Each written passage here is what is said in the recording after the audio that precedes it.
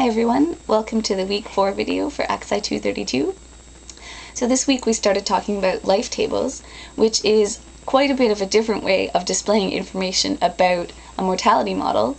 Instead of having it as a nice smooth function of t, where we just have this function for all future time, we actually have discrete information based on each year of age. So a huge advantage of this is it allows us to capture the idiosyncrasies of real human mortality, which is really nice. Obviously it's going to be a little more complicated than a nice function, but we can deal with that. So with this life table information, what we have is a sequence of values Lx. And the first value is Lx0, and we say that that's basically the number of starting lives that are age x0. Normally x0 is equal to 0, so I might sometimes call it L0. And then each x, each Lx for each integer age x in the future is just obtained by taking Lx0 times x minus x0 p x0. So we're looking at the number of lives starting off at age 0 times the probability that those lives survive to age x. So we can interpret Lx as actually the average number of lives out of those initial Lx0 starting lives that make it to age x. Technically, it's actually the expectation of a binomial random variable, capital Lx. So from these L's, from just this one sequence of values, we can actually get information about all P's, Q's, and deferred Q's when we're looking for integer ages and integer durations. So it's really useful. Just from this one sequence, we can get all of that information. A disadvantage, however, of using life tables is that we are restricted to integer ages and integer durations.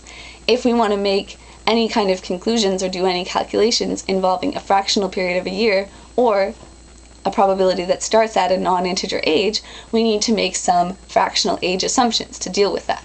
And we talked about the two most common. First of all is UDD, which stands for Uniform Distribution of Deaths.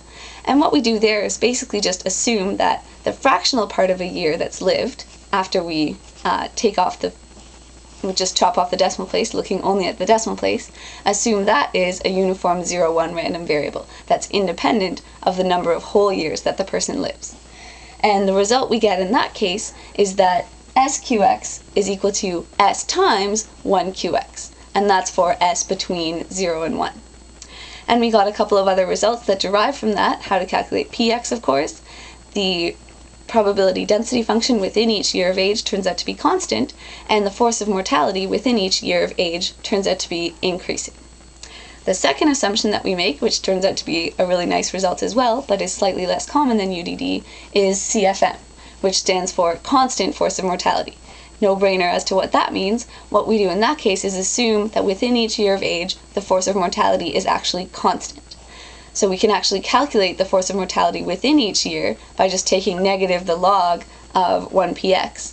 And then that gives us the result that spx is equal to 1px raised to the power of s. And again, that's for s between 0 and 1. So we can get other results from this as well. We can calculate q's, and uh, obviously the force of mortality in this case is going to be a constant rather than increasing as it is with UDD. And now in both of these cases, we're assuming here that the starting age x is an integer. If we're dealing with a non-integer age x, we have some techniques to obtain results that we can actually use. So we have to split up those p's into ratios of different p's and calculate each one of them using those simplifying assumptions. So that was actually everything for this week. Um, your first assignment is being marked currently by the TA, so hopefully he'll have those back to you soon and have a fantastic weekend.